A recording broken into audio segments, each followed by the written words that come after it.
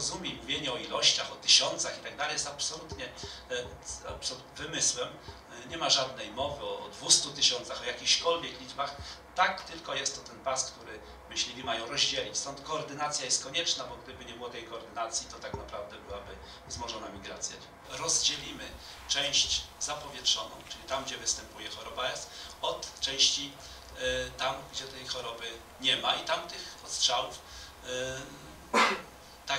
których e, mówią i przyrodnicy, i pani, absolutnie nie będzie dokonywane.